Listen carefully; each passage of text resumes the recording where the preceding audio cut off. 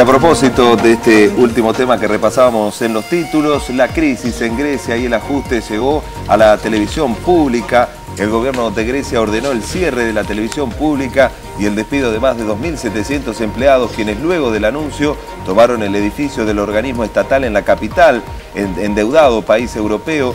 El anuncio fue realizado por el vocero del Ejecutivo griego, quien precisó que el cierre de la televisión pública comenzaba a regir desde la medianoche de ayer y que en su lugar se abrirá un nuevo organismo, pero con mucho menos personal. El vocero no dijo cuándo ni detalló con cuántos empleados los, despidos de la radio-televisión griega son parte de lo exigido a Atenas por la Troika, Unión Europea, el Banco Central Europeo y el Fondo Monetario, los acreedores internacionales que rescataron al país de la quiebra. A cambio, le exigieron salvajes ajustes, entre ellos el despido de 2.000 funcionarios o empleados públicos hasta finales de julio próximo, sobre un total de 15.000 hasta finales del año próximo. El portavoz del Ejecutivo griego explicó que en lugar de la televisión pública funcionará lo antes posible un organismo público moderno con mucho menos personal. Precisó que los de los 2.700 trabajadores serán despedidos y van a percibir las indemnizaciones correspondientes.